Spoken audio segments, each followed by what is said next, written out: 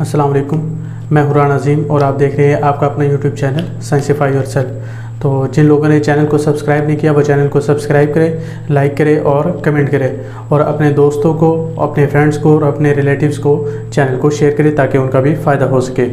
ठीक है जी? तो आज जो हमने टॉपिक डिस्कस करना है, वो हमने क्या करना है?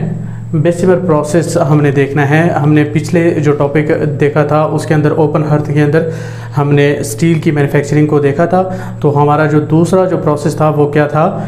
बेसिमर प्रोसेस ओपन हर्थ और बेसिमर प्रोसेस के अंदर फ़र्क क्या है कि ओपन हर्थ जो प्रोसेस था, उसके अंदर हम cast iron wrought iron steel के इवन स्क्रैप्स वगैरह जो होते हैं बकाए जो जात जो होते हैं स्क्रैप्स वगैरह तो उनको भी हम यूज़ कर लेते हैं किस चीज़ के लिए स्टील बनाने के लिए, ठीक है जी? लेकिन अब यहाँ पर जो है बेसिमर प्रोसेस ये स्पेसिफिक होता है किसके लिए? कास्ट आयरन के लिए कि हम वहाँ से क्या बनाएँगे? सिर्फ़ स्टील बनाएँगे। ठीक है जी? तो हम स्टार्ट करते हैं। तो बेसमर प्रोसेस जो है, उसके अंदर सबसे पहले क्या आता है? बेसमर कन्वर्टर अब बेसमर कन्वर्टर मैं साइड पे दिखा दूँगा कि बेसमर कन्वर्टर होता क्या है? तो उसके अंदर बेसिकली क्या होता है? पेयर शेप्ड वेसल होता है ये। क्या होता है? पेयर्ड, पेयर जो है उसकी तरह, नाशपाती की तरह क्या होता है? उस तरह का शेप का वेसल होता है और ये किसी से बना होता है? स्टील प्लेट्स के साथ बना होता है। ठीक है जी? ये जो है, स्टील प्लेट के साथ बना होता है। फिर उसके बाद क्या है कि at the bottom number of holes for hot air अब बॉटम में क्या मौजूद होता है यहाँ पर? बॉटम में यहाँ पर जो मौजूद होता है, वो होल्स वगैरह मौजूद होते हैं किस चीज़ के लिए? कि एयर जो है, वो इंजेक्ट भी हो सकती है और बाहर भी निकल सकती है। ठीक है जी? और तीसरा जो पॉइंट है वो क्या है कि held on central axis held on central axis can be tilted for feeding and pouring out अब ये सेंट्रल एक्सिस पर बीच में यहाँ पर जो है वो सेंट्रल एक्सिस लगा होता है ये।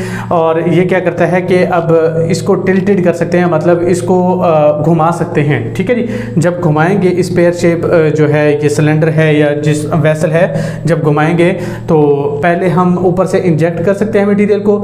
जब घुमाएँगे तो क्या होगा कि वो पोर आउट हो जाएगा। क्लियर हो जाएगी बात? तो इस तरह हम क्या कर सकते हैं कि बेसिमर कन्वर्टर को एक्सप्लेन कर सकते हैं। देन आपने दूसरी हेडिंग जो बनानी है, वो किसकी बनानी है? फीडिंग द चार्ज मतलब उसके अंदर जो मटेरियल हमने पुट करना है, वो कैसे करना है कि पिग आर कास्ट आयरन जो है हमारे पास, वो हमने डालना है फ्लॉम द ब्लास्ट फर्नेस और साथ में हमने क्या डालनी है? हॉट एयर ब्लास्ट, ठीक है तो कास्ट आयरन और हॉट एयर को हम दोनों को क्या करेंगे? इंट्रोड्यूस करेंगे इनटू द कन्वर्टर। कन्वर्टर में हम इन चीज़ों को डाल देंगे।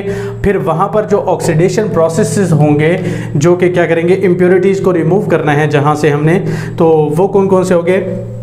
अब कार्बन जो है वो ऑक्सीजन के साथ मिलकर क्या बना देगी? कार्बन मोनोक्साइड सिलिकॉन जो है ऑक्सीजन के साथ मिलकर क्या बना देगी? सिलिकॉन डाइऑक्साइड और मैगनीज जो है ऑक्सीजन के साथ मिलकर क्या बना देगी? मैगनीज ऑक्साइड अब यहाँ पर जो है स्लेग भी बनेगी। अब स्लेग कैसे बनेगी? जो मैगनीज ऑक्साइड है, वो सिलिकॉन डाइऑक्साइड के साथ मिलकर क्या बना देगी? सिलिकेट बना स्लेग बना देगी। ठीक है जी? अब यहाँ पर आगे जो है, वो क्या है? ऑक्सीडेशन ऑफ़ कार्बन अब ऑक्सीडेशन ऑफ़ कार्बन एक तो प्रोसेस ये है कि मतलब ऑक्सीजन के साथ रिएक्ट करके क्या बना सकती है, क्या बना सकती है? कार्बन मोनोऑक्साइड अब दूसरा जो प्रोसेस है, वो क्या है कि carbon monoxide produce at the mouth with blue flame अब दूसरा जो प्रोसेस है, वो क्या है कि ब्लू फ्लेम के ज़रिए माउथ पर भी प्रोड्यूस हो सकती है। वो कैसे प्रोड्यूस होगी कि वो आयरन के साथ क्या करेगी? समटाइम्स रिएक्ट करती है और वो क्या करेगी? ऑक्सीजन के साथ मतलब आयरन जो है जब ऑक्सीजन के साथ रिएक्ट करेगा तो क्या बनेगा? हीमाटाइट बन जाएगा। अब ये जो हीमाटाइट है ये कार्बन के साथ रिएक्ट करेगा और क्या बना देगा? कार्बन मोनोऑक्साइड अब जब कार्बन मोनोऑक्साइड बन रहा होगा तो इसका फ्लेम कौन सा होगा? ब्लू फ्लेम होगा। ठीक है जी? और ये जो ब्लू फ्लेम है ये कितनी देर तक रहेगा? आ, मैंने टाइम लिख रखा है कि 10 टू 15 मिनट्स तक ये ब्लू फ्लेम रहेगा। देन उसके बाद क्या हो जाएगा? डिसअपेयर हो जाएगा। डिसअपेयर होने का मतलब क्या होगा? कि यहाँ पर जो कार्बन कार्बन है, वो फुली ऑक्सीडाइज हो चुकी है। ठीक है जी? देन उसके बाद हमारे पास जो लास्ट सेकेंड लास्ट पॉइंट रह जाता है, वो क्या है? एडिशन ऑफ़ फेरो मैगनीज अब एडिशन ऑफ़ फेरोमैगनीज़ किस चीज़ के लिए है? कि पहले तो जो फेरोमैगनीज़ है, वो ऐड करते हैं किस चीज़ के लिए? कार्बन की प्रोपोर्शन को करेक्ट करने के लिए। ठीक है जी? कार्बन की अगर प्रोपोर्शन को करेक्ट कर लेंगे देन उसके बाद जो हमारे पास स्टील हासिल होगा, उसकी जो प्रोपोर्शन होगी वो भी क्या हो जाएगी? उसके अंदर जो इम्प्योरिटी होगी वो भी कम हो जाएगी, या हम उसको ज़्यादा भी कर सकते हैं। ठीक है जी? लेकिन अमूमी तौर पर हम क्या करते हैं? कास्ट आयरन से बना रहे हैं। तो कास्ट आयरन के अंदर स्टील से ज़्यादा होती है तो हम अमूमी तौर पर क्या करते हैं कि यहाँ पर कार्बन की जो प्रोपोर्शन है, उसको लेस करते हैं, ताकि स्टील की जो क्वालिटी है आ, उसकी जो इम्प्योरिटी है वो कम हो सके और क्वालिटी ज़्यादा हो सके। ठीक है जी? और उसके बाद अब मैगनीज़ जो फेरो मैगनीज़ के अंदर मैगनीज़ जो ऐड कर रहे हैं वो किस चीज़ के लिए हो सकता है? हार्डनेस उसकी ज़्यादा करने के लिए उसकी स्ट्रेंथ को ज़्यादा बढ़ाने के लिए क्या कर सकते हैं हम मैगनीज़ को ऐड करते हैं। लास्ट में क्या है हमारे पास? रिमूवल ऑफ़ एयर बबल्स अब यहाँ पर जो क्या बन रही हैं गैसेस वगैरह जो बन रही हैं, अब इनको कैसे रिमूव करवा सकते हैं? हम फेरोसिलिकॉन या नाइट्रोजन वगैरह जो है, वो हम क्या करेंगे? ऐड करेंगे। अब वो जो फेरोसिलिकॉन है, जो नाइट्रोजन है, वो क्या करेगी? इनके मतलब इन गैसेस के साथ रिएक्शन करेगी और क्या बनाएगी? कंपाउंड्स बनाएगी नाइट्राइड्स वगैरह जिस तरह बनाएगी। अब वो क्या होगा? वो बाहर निकल जाएगी। अब जैसे एल्यूमिनियम जो है, वो नाइट्रोजन के साथ मिलकर क्या बनाएगा? एल्यूमिनियम नाइट्राइड का बनाएगा और वो क्या करेगा? हम उसको आसानी से बाहर बाहर निकाल सकते हैं। क्लियर हो जाएगी बात? तो इस तरह हम क्या कर सकते हैं? बेसिमर प्रोसेस के ज़रिए स्टील को बना सकते हैं। तो सबसे पहले हमारे पास क्या है? बेसिमर कन्वर्टर बेसिमर कन्वर्टर के अंदर मैंने आपको बताया कि पेयर शेप है वेसल और स्टील प्लेट्स का बना होता है और फिर क्या है? एट बॉटम जो है वो क्या है? नंबर ऑफ़ होल्स है किस चीज़ के लिए? हॉट एयर के लिए।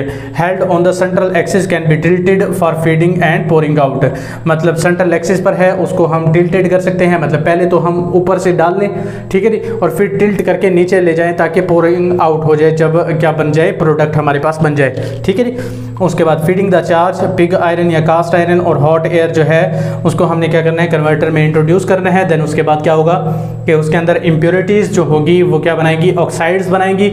ऑक्साइड्स बनेंगे और देन उसके बाद मैगनीज़ का ऑक्साइड और जो सिलिकॉन डाइऑक्साइड है, वो क्या बना देगा? मैगनीज़ का सिलिकेट बना देगा या स्लेग बना देगा।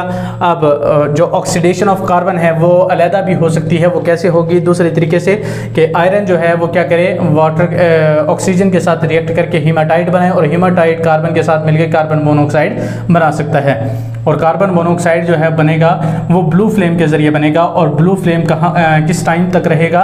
ये 10 टू 15 मिनट्स तक रहेगा।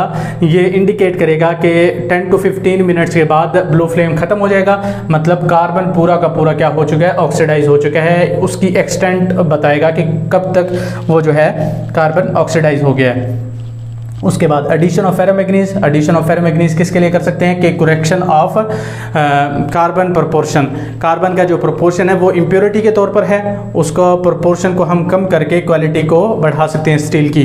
उसके बाद हार्डनेस और स्ट्रेंथ को भी क्या कर सकते हैं? फेरोमैग्नीज ऐड करके ख़ास तौर पर मैगनीज को ऐड करके क्या कर सकते हैं? स्ट्रेंथ और हार्डनेस को दोनों को हम क्या कर सकते हैं? ज़्यादा कर सकते हैं।